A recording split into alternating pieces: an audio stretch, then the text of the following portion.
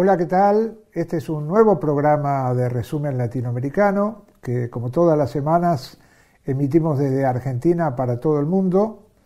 Un saludo especial para los compañeros y compañeras de Chile que nos ven todos los sábados por el canal 3 La Victoria, también para la gente de Venezuela, por Alba TV y para la gente de Perú que nos ven desde eh, distintos medios de comunicación de allí.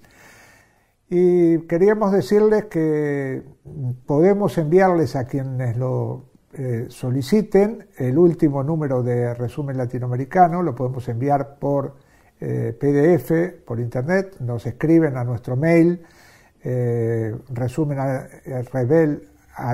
gmail.com, ahí está en el anuncio, lo pueden ver, para que les enviemos gratuitamente el número eh, que acabamos de sacar con mucha información sobre América Latina. Bueno, y el programa de hoy va a estar dedicado en su primera parte a hablar de eh, la deuda externa argentina. Eh, estamos con una entrevista a un economista que pertenece e integra economistas de izquierda, se llama Claudio Katz, ustedes lo conocen seguramente es autor de varios libros dedicados al marxismo, a los problemas de la izquierda en América Latina y por supuesto a temas de economía vistas desde el punto de vista de eh, alguien que se para eh, directamente desde la izquierda. el tema de la deuda externa es algo que nos preocupa a todos y a todas porque evidentemente eh, este gobierno eh, sigue renegociando, ahora nuevamente se ha dado otro plazo para renegociar el pago de la deuda. Y eh, muchos de nosotros y nosotras, entre ellos Claudio Katz y quien presentamos en el programa anterior, Adolfo Pérez Esquivel, el Premio Nobel de la Paz, y Nora Cortiñas, Madre de Plaza de Mayo, línea fundadora, integramos autoconvocados por la suspensión del pago de la deuda y la auditoría de la misma, porque la consideramos ilegítima y odiosa, incluso decimos, porque nos parece que realmente, y sobre todo en tiempos de pandemia como la que estamos viviendo y de crisis económica y de eh, una situación muy dura para nuestros trabajadores y trabajadoras y para nuestra gente de los barrios, para los desocupados y desocupadas, seguir pagando la deuda eh, es algo contra natura. De todo esto hablamos con Claudio Katz y esta es la entrevista. Bueno, Claudio, vamos a hablar un poco de los dos temas más acuciantes de, la coyuntura, aparte de la pandemia, eh, que hacen a la, vida argentina. Uno de ellos es la deuda externa, la deuda con los bonistas.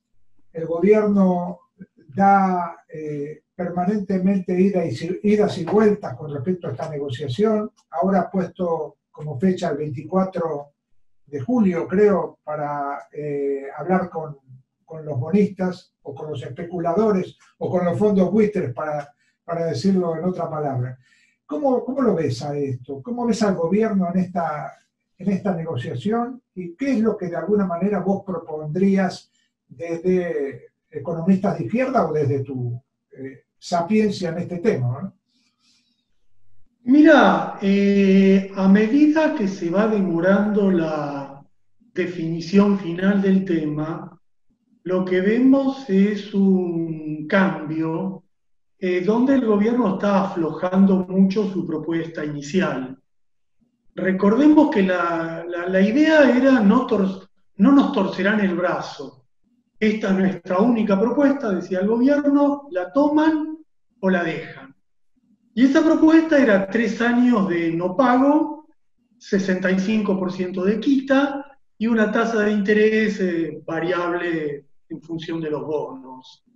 Han pasado varios meses, hay una presión muy grande de los grandes grupos económicos, de corrida al dólar blue, presión de los bancos intermediarios, y el gobierno está aceptando gran parte de estas presiones. Ahora la última, la de estas dos últimas semanas, es ya sobre el tipo de contrato que se va a firmar. Ya en principio habría acuerdos sobre las condiciones, sobre el monto, y los, eh, los acreedores están exigiendo fuertes garantías Nueva York, por supuesto, como lugar de litigio, que el FMI audite los próximos años y que si hay un nuevo default, las condiciones de renegociación sean mucho más favorables para los acreedores. Eh, esto es lo que están charlando ahora. A mí me parece que el, gran, el primer problema es que el único elemento positivo, interesante, que tenía el canje, que era durante tres años, al principio eran cuatro, no pagar nada, se fue licuando día a día. Esta idea de que íbamos a tener un respiro, que la Argentina necesita, de no pagar durante un periodo, se fue achicando.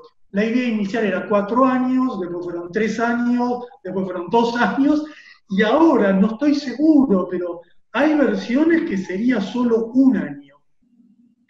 Y este es el problema clave, porque eso implica que en muy poco tiempo la Argentina vuelve a destinar una parte importante de su presupuesto al pago de intereses. En un momento que, en un momento que no hay un peso, porque en un momento a eso voy. En una situación grave. Recordemos dos cosas. Antes de la pandemia, ya hubo, desde que asumió el gobierno, hubo pagos importantes. Después de la pandemia, hubo dos pagos muy graves. Uno de unos 250 millones de dólares y otro al Fondo Monetario de 350 millones de dólares. Esto ya cuando, cuando estamos en la emergencia total, ya cuando no hay dinero. Entonces, ¿qué va a pasar si cuando salimos de esta situación al año, a lo poco, al poco tiempo, se vuelve a destinar dinero al pago de la deuda? Este es el primer problema preocupante. El otro es en qué va a quedar la quita de la deuda. Porque todo está indicando que va a ser muy inferior al modelo que todos tenemos, que era del 2000, la anterior, la de Néstor Kirchner de la Baña. Eh, acá se empezó con una idea de una quita del 65, se bajó al 55, ahora negocian el 50, y eso implica eh, compromiso de pago, eso implica, algunos dicen que cada una de estas negociaciones son 10 mil, 15 mil, 20 mil millones de dólares más que paga la Argentina. El tercer problema ya más conceptual ya no, es el papel del Fondo Monetario. Porque parecería en el discurso que escuchamos que el Fondo Monetario se ha convertido en un aliado de la Argentina contra los fondos buitres, contra los fondos eh, privados, contra los acreedores de la deuda. Eh, y esto es complicado porque eh, con el fondo no se negocia ninguna quita, ninguna reducción de la deuda a lo sumo lo que habrá es un cambio en el cronograma de pagos. Pero esto implica tener al Fondo Monetario con, una soga al cuello de por vida en la Argentina, de aquí a muchísimos años. Y ojo que el Fondo Monetario se ha vuelto benévolo en la crisis. Esto no es la primera vez que ocurre. En el 2008-2009 también el Fondo Monetario pasó a ser un organismo que, pasó a ser considerado, que llamaba a que tengan en cuenta a los deudores, que pedía eh, benevolencia, y se fue la crisis en el 2010 y volvió al Fondo Monetario de siempre. Entonces, eh, el FMI tiene dos objetivos, cobrar ellos, ellos están en la fila del acreedor privilegiado, y si es necesario que el bonista privado cobre poco para que se privilegie los pagos al fondo, y en segundo lugar, asegurarse una presencia en la auditoría de las cuentas argentinas de aquí a no sabemos cuándo. Así que yo veo en forma muy crítica el curso de esta negociación, donde el proyecto económico del gobierno, bueno, merece objeciones más fuertes, pero sobre todo por una que sería muy básica, no hay ninguna necesidad de Dejemos, hagamos un paréntesis, olvidemos un minuto eh, eh, eh, los problemas de fondo. ¿Cuál es la urgencia de negociar un canje de la deuda en un momento de crisis internacional de esta envergadura, cuando es evidente que hay decenas de países en la cola de los que van a entrar en el default, cuando se habla de condonación de las deudas, lo dice el Papa, lo dicen los organismos mundiales, porque es evidente que en un derrumbe económico que estamos viviendo, hay muchos países que no van a poder pagar la deuda. Entonces, ¿qué apuro? ¿Qué necesidad? ¿Qué urgencia? Con un argumento además de que lo que vamos a hacer ahora es un acuerdo sustentable. Eso es una ficción. ¿Quién sabe lo que es sustentable en, el desmadre económico actual? ¿Alguien me puede decir cuál va a ser el Producto Bruto, las exportaciones, la inversión, eh, la tasa de cambio en Argentina dentro de dos años?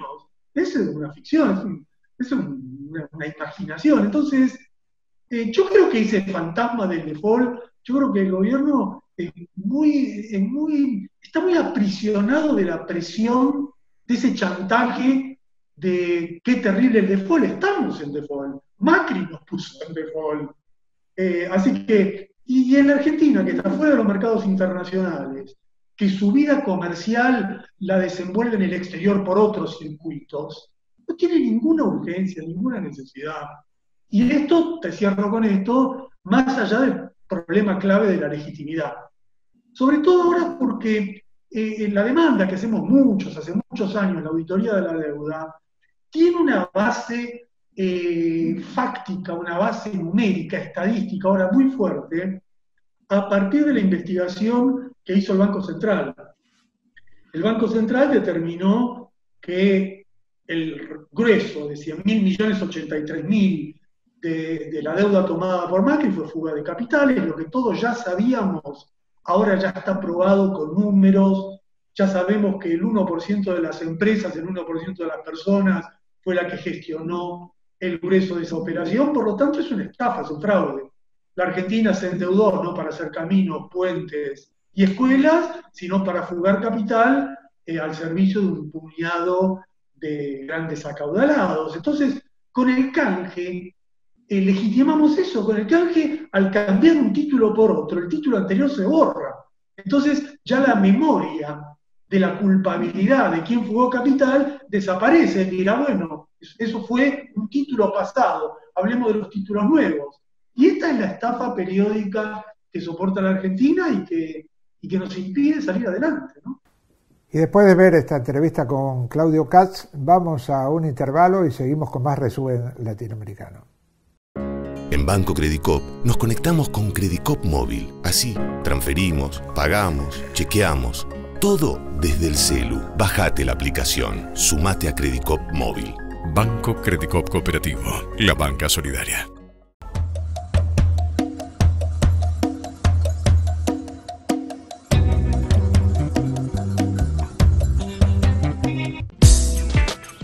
Sindicato de Visitadores Médicos Asociación Agentes de Propaganda Médica de la República Argentina.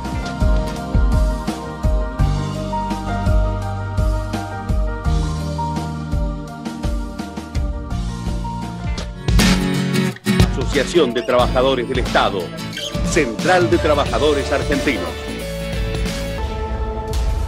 Bueno, continuamos con resumen latinoamericano y ahora nos vamos a, a plantar sobre la situación boliviana.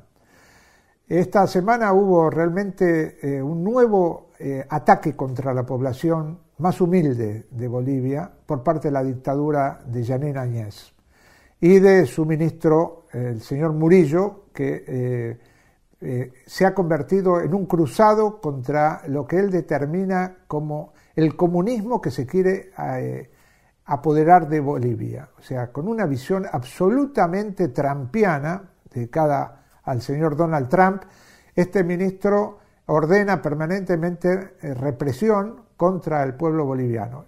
Y estamos hablando de la situación de Caracara, de la localidad cochabambina de Caracara, donde el pueblo se levantó eh, por eh, el tema de la basura, porque hay grandes cantidades de basura en la zona, por la falta de agua, por el hambre y por que los obligan a cumplir una cuarentena cuando hay una situación realmente desesperada de falta de trabajo y de la posibilidad de llevar un sustento a la familia. ¿Qué hizo Murillo?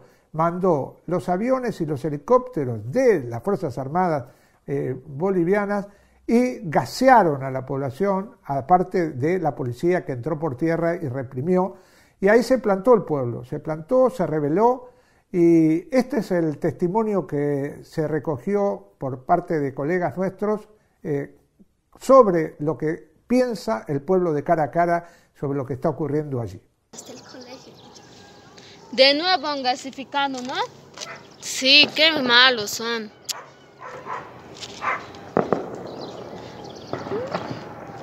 Les han hecho que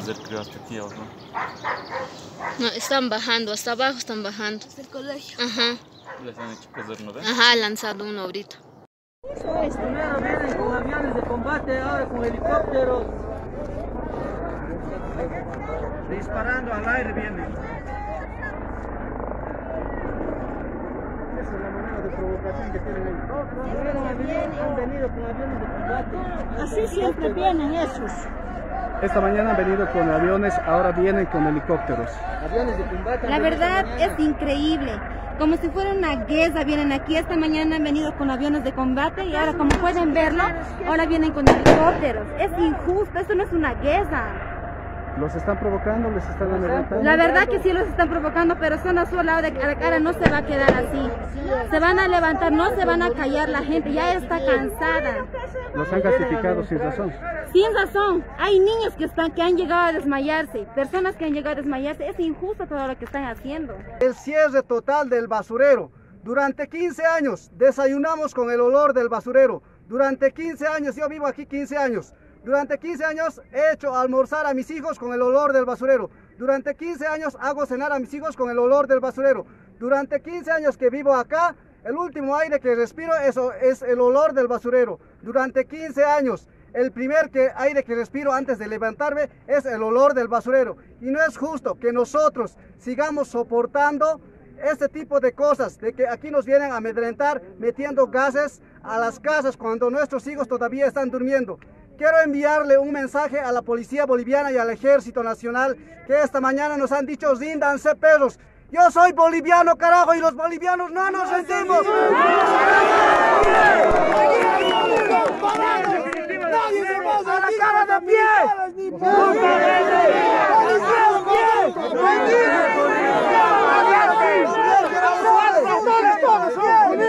También quiero decirle al señor Murillo, al señor Murillo le quiero decir, al señor Murillo, usted puede mandar a arrestar a, a todos los vecinos, vaya preparándose para hacer una cárcel para 72 mil habitantes que estamos acá, porque con tus amedrentamientos no nos vas a callar. Nosotros, cada vez que metas a uno de nuestros líderes, siempre va a surgir un líder dentro de Caracara, porque los de Caracara somos valientes, ¿sí o no? ¡Sí! Ahora, ¿qué medidas de presión se van a, qué medidas de presión se van a asumir? No tenemos miedo, carajo. No tenemos miedo, carajo. No tenemos miedo, carajo. No tenemos miedo, carajo. Nosotros también estamos pidiendo la liberación de nuestros tres compañeros que han sido detenidos ilegalmente. Y pido a las autoridades que vengan a solucionar por qué esas autoridades se esconden esto cara a cara ya es muchos años, debería solucionar. Las autoridades ahora manejan, ahora maneja el gobierno transitaria, como aquí terroristas. Nosotros somos del lugar y nosotros no somos, somos personas que vivimos del lugar. ¿Cómo están en el tema de la cuarentena? El tema de la cuarentena ha, prácticamente ha obligado a muchas familias a quedarse en las zonas, ¿no? Y, y Caracara también se ha quedado en las zonas y no ha salido. Eh, la crisis política económica en, en Caracara está muy grave. Realmente mucha gente no tenemos ya ni para comer. A los gobiernos parece que no les importa esta zona de Caracara nos dejan con un olor, sin comida, sin nada. Por eso nosotros estamos aquí, pero compañeros, ¡que viva Nunca, nunca de rodillas. Va a seguir la movilización, se va, se va a tener bloqueado la zona, ¿no, compañero, también de Radio Soberanía? Eh, nosotros eh, vamos a bloquear hasta que las autoridades lleguen y tomemos un acuerdo aquí para que esto ya no pase, porque lo que está buscando el gobierno es una convulsión. Nosotros no queremos convulsión, nosotros queremos que las autoridades vengan y se sienten y lleguemos a un acuerdo en aquí. Pero cara a cara ya no queremos nosotros. Muchísimas gracias a los pobladores del sector de Caracara, quienes están pidiendo. Señora, ¿cómo está? Un cordial saludo. Esta mañana también ha sido a- a- víctima de agentes químicos. Exactamente, nos han tirado bombas al aire, vinieron como maleantes a atacarnos. Dicen que somos maleantes nosotros que pagamos. Nosotros no pagamos nada, vivimos al día. Necesitamos apoyo del pueblo. Este Murillo nos quiere matar, nos quiere hacer todo. Eso no es justo. Necesitamos apoyo de los... ¿Quién nos quiere matar los militares policías? Eso no está bien. A nuestras casas nos han botado gases. Nuestros hijos están durmiendo. Eso está bien, dígame usted. Que se presente, quiere meternos a la cárcel, que nos meta. Estamos decididos a ir. Y porque morimos de hambre aquí, olemos ese olor cada día. Ellos se ponen a pensar lo que nosotros sufrimos. Dicen los hombres que son maleantes. Nuestros maridos son una y otra cosa. No somos maleantes, vivimos del día a día. Nos ganamos la vida vendiendo, trabajando. Pero Murillo que dice que pagamos, que no pagamos, eso es mentira. Queremos que liberen a esa gente que nos han quitado. Esa gente nos apoya porque nosotros no somos nada. Queremos liberación para nuestros compañeros. Que no los liberen, sino que nos la cárcel. Liberación, liberación. Nosotros de la zona de Caracara no queremos cuarentena, queremos trabajar. Por lo menos en esta zona necesitamos trabajar, necesitamos comer. Realmente, zona de Caracara está muriendo de hambre y a los gobiernos no le importamos, no queremos cuarentena. Porque con esta cuarentena mucha gente está aquí muriendo de hambre y no queremos morir de hambre. Realmente nosotros nos, nos sentimos muy humildes, compañeros, aquí en la zona sur. Todo, todo lo que dicen la- las autoridades nacionales son a lo contrario. Dicen que nosotros pagamos a los jóvenes que hagan bloqueos. Esa es mentira, compañeros, porque ellos lo pagan a otros jóvenes para que vengan aquí a, a concursionar a nuestro pueblo, compañeros. Ahora, más que todo, nosotros nos hemos cubierto que estaban infiltrados de otro lado, compañeros que venían. Pa- ellos son pagados, compañeros. ¿Quiénes eran los que estaban pagando? Ahora, compañeros, la solución que tiene que hacer es a todos los compañeros que se la han llevado a la cárcel, que vuelvan aquí. Ahora, compañeros, el compañero Morillo, yo le digo al ministro, que traiga a esos, los que están arrestados allá, con esa persona que llega aquí, el, el ministro Morillo, compañeros. Caso contrario, nosotros no levantamos, toda la zona sur nos levantamos y le cerramos todo total el cierre del basurero, compañeros. No vamos a permitir De esta manera se registra la palabra de los pobladores de la zona de Caracara, quienes han mostrado no solamente los agentes químicos que han llegado la oportunidad. Bueno, compañeros, hablando de la basura, del zona norte están bien protegidos. Y ese, los que están trayendo de los hospitales, ese es los que están utilizando para curar a los, a los enfermos. Y ese enfermo, ¿acaso? Ahora, dicen la- de la cara cara se están quejando. ¿Por qué? Porque nosotros nos estamos quejando lo que es. No queremos ser enfermos con ese basura que traigan de los hospitales. Nos está trayendo a nuestra zona. Ahora, con la basura tienen que aguantar ellos como nosotros que hemos aguantado durante tiempo.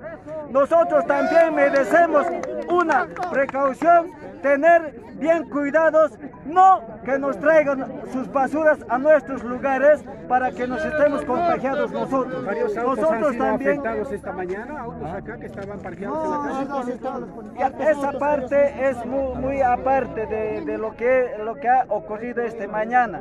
La cosa nosotros como pueblo del basurero, nosotros lo que estamos pidiendo, a nosotros también las autoridades que nos cuiden, ¿no? Que nos cuiden en esta pandemia. Ellos están protegiéndose buena de la pandemia y esa pandemia nos está trayendo a nuestra zona. Todo el tiempo hemos aguantado este olor. Todo el tiempo. ¿Qué es lo que quiere este gobierno? Ha mandado policías a la zona, pero hasta avionetas de guerra, todo de combate, como si en esta zona hubiera guerra. Pero realmente nos da mucha pena que los mismos policías están destrozando los autos Para sus propios autos los policías han destrozado para decir que nosotros hemos destrozado. Hay, hay videos que nosotros hemos firmado ellos mismos donde están destrozando sus propios vehículos para hacernos quedar mal a cara a cara y para decir que en esta zona así somos tipo de conflictivos. ¿Qué está haciendo este tipo de gobierno?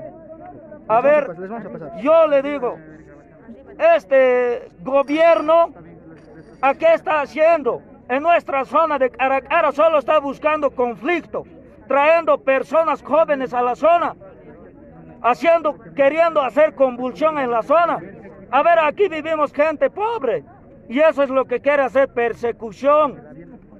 En, esta zona siempre los dirigentes todos están siendo perseguidos por el Murillo. Muchísimas gracias.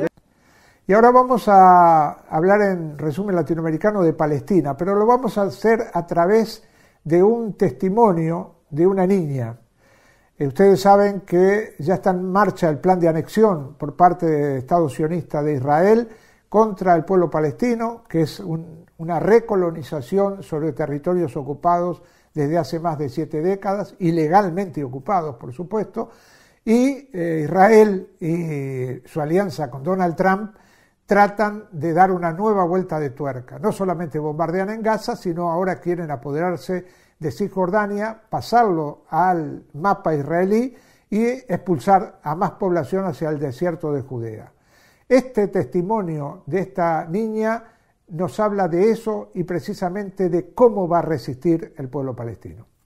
أنا اليوم مش مثل كل يوم أنا اليوم طفلة لبنانية طفلة سورية طفلة أردنية طفلة عراقية وطفلة خليجية طفلة جزائرية وطفلة تونسية وأنا اليوم طفلة فلسطينية وأنا اليوم طفلة عربية اليوم حأحكي لكل أطفال المسلمين لكل أطفال المسيحية لكل أطفال العالم عن سرقة القرن مش عن صفقة القرن.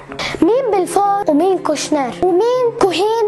ومين بنيامين؟ ومين صهيون؟ نحن محمد وحنا ونحن أحمد وعيسى نحن فاطمة ومريم ونحن عمار وإبراهيم نحن الزعتر والزيتون نحن الأقصى والقيامة ونحن أرض الأنبياء. نحن الكرمل وسور عكا نحن غزة مهد العزة نحن الخليل وحرمها ونحن نابلس وجبلها ونحن القدس مدينة السماء وخلاصة الزمن. نحن أصحاب الحق ونحن أصحاب الدار.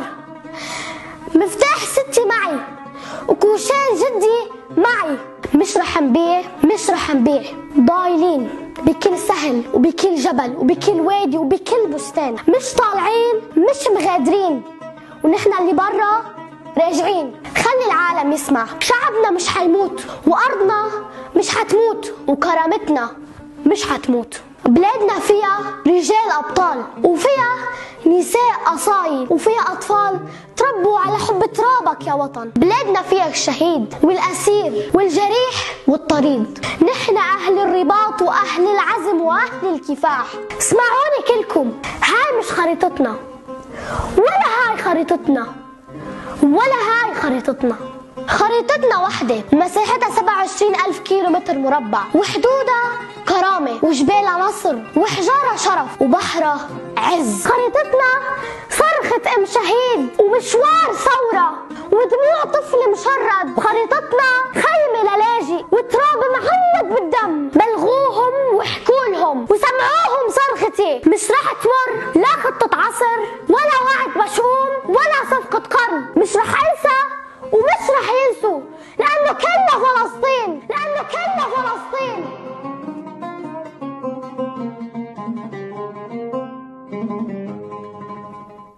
Y después de escuchar este emocionante testimonio de una niña palestina, nos despedimos hasta la próxima semana con más resumen latinoamericano.